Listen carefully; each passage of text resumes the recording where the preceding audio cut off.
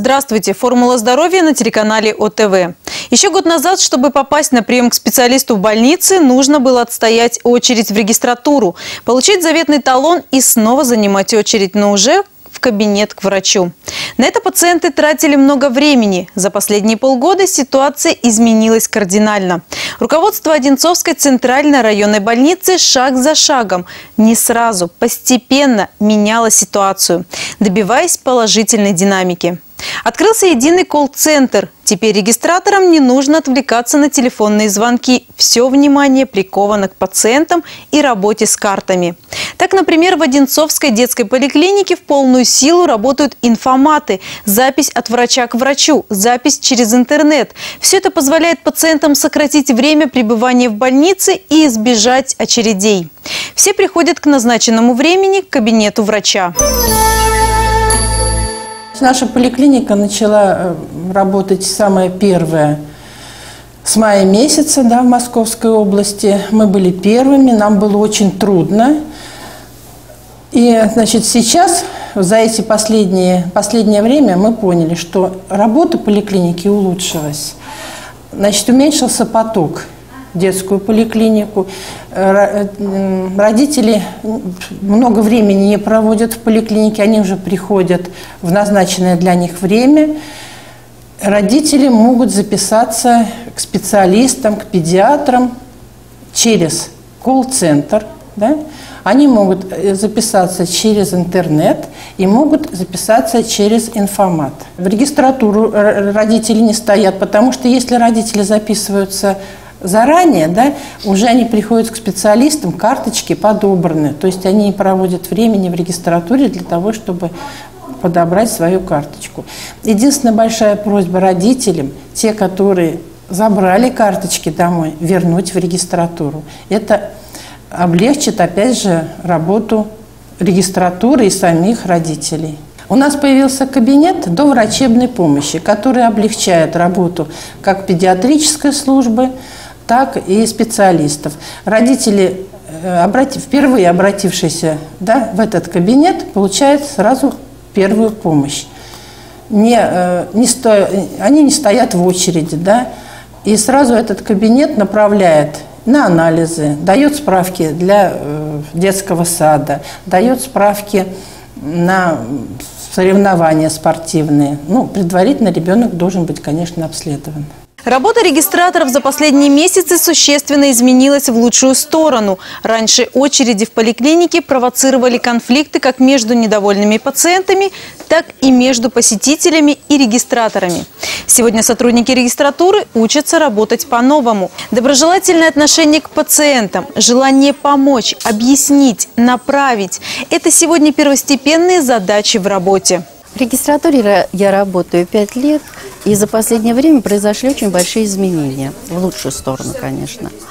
А, во-первых, э, изменилась у нас э, уже и нагрузка меньше, потому что предварительную запись мы передали в колл-центр. Это очень удобно и для пациентов, они могут записаться по телефону единой, э, единой службы. А, и для нас уже исчезли очереди такие. Мы подбираем карты. Если пациент записан к педиатру, карта с вечера обязательно уже лежит в кабинете у врача. И минуя регистратуры, мамочка с ребеночком идет сразу э, к кабинету врача, к своему времени. Очень приятно, когда приходят к нам доброжелательные э, мамы, папы особенно, улыбаются, приветствуют, благодарят нас – и нам приятно. И мы стараемся, мы ваши помощники. Мы хотим помочь, чтобы сократить вот это время э, доступа к врачу, чтобы вы побыстрее попали к доктору своему. Иногда задаем вопросы, не сердитесь, потому что эти вопросы идут из нашего опыта. Если мама говорит, что э, карта должна быть там, а оказывается, ребеночек в данный момент у бабушки – и э, карта лежит по другому адресу. Вот такое может быть. Поэтому мы спрашиваем, где прописан ребеночек, где фактически наблюдается. И большая просьба у меня к педиатрам, а, которые в других поликлиниках. Если вы направляете к нам а, ребеночка, то, пожалуйста, при себе э, э, дать ребенку вот те необходимые, которые я вам дала перечень. Я думаю, вы покажете это, да?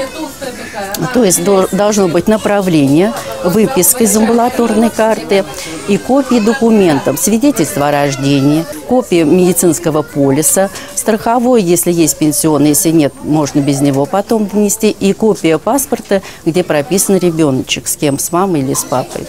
И это необходимо.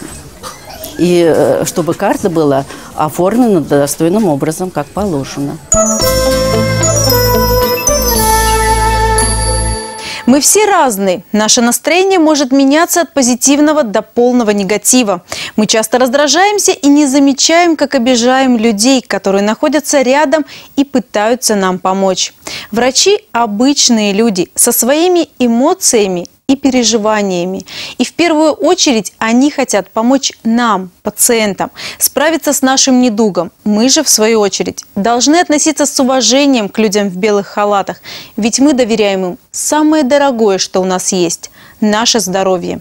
И все, что сейчас делается в поликлиниках, новые формы работы, технологии, все это направлено на повышение качества обслуживания населения. Руководство Одинцовской центральной районной больницы запустило новую программу по обучению медицинского персонала. Врачи, медсестры посещают психологические тренинги, работают с психологами, разбирают каждый конкретный случай и находят решение любой конфликтной ситуации. Это нам в помощь, потому что мы уже, ты обращаешь внимание и на себя, э, как мы общаемся, вот, и можешь какую-то разрулить ситуацию, которая вот нестандартная. Иногда э, родители спрашивают мимоходом, а вот какой кабинет и что там? А также такой ответ можете получить мимоходом, потому что регистратор занят. Мы, когда набиваем талон к врачу, мы проверяем, вот беглым взглядом смотрим, все ли документы внесены. Например, паспорт, свидетельство о рождении. Приходит ребеночек, э, там написано свидетельство о рождении, а он уже взрослый, у него свой паспорт. Значит, мы тут же меняем в базе и забиваем номер паспорта. Или приходит со старым полисом, от, э, свидетельство вот временное, которое выдают, а он уже получил новый. Если мы этого не сделаем, тогда талон вернется к врачу и не будет оплачен, не будет засчитан э, вот, в статистическом э, отделе. Поэтому мы все это смотрим, все это стараемся беглым взглядом, уже опытные у нас регистраторы, вот, они все это видят, и нужно все исправить, изменить что-то в базе. А в это время тебя спрашивают и справа, и слева. И надо набраться терпения, чтобы э, хотя бы от, от взгляд э, от клавиатуры, чтобы на тебя упал взгляд, и мы тогда мы уже э, с вами общаемся, чтобы не ждал человек, с которым я работаю.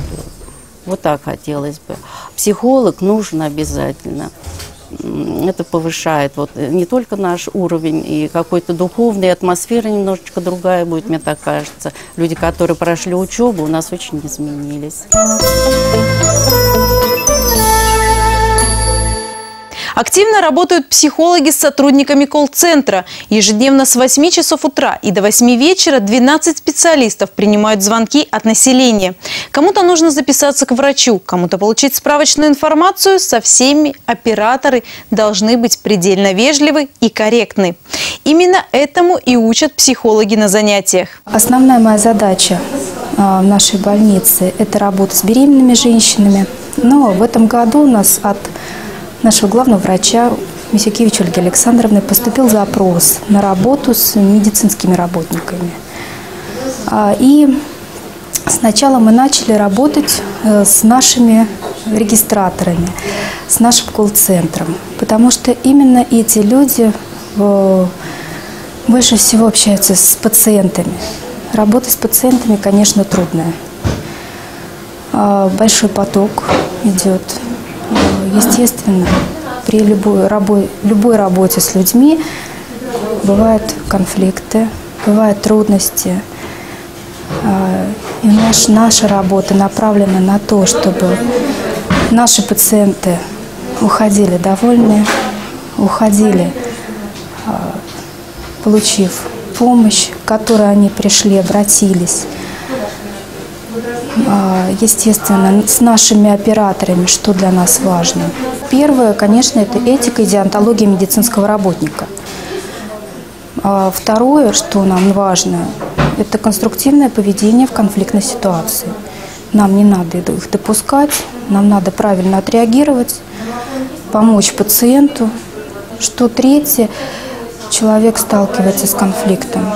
Человек сталкивается с большим количеством людей в работе своей, чтобы это все не отражалось на дальнейшей его работе, чтобы наши специалисты не приносили это домой. Соответственно, стрессоустойчивость вырабатываем у наших пациентов, релаксацию учим, обучаем. А наши занятия проходят э, со всеми регистраторами, с колл-центром. Э, каждую неделю с разными группами. Вот. То есть у нас проводился в первой поликлинике и в третьей поликлинике с колл-центром. А сейчас э, предстоит еще детская поликлиника. На самом деле многие наши регистраторы говорят, да, мы это все знаем. С одной стороны, конечно, это так, но напоминая, вспоминая какие-то вещи, они приходят на работу уже другими.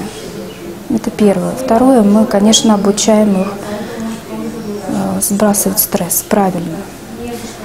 И приходя в следующий день на работу, они улыбаются, они готовы работать с новыми усилиями, да, с улыбкой встречать наших пациентов, что нам важно.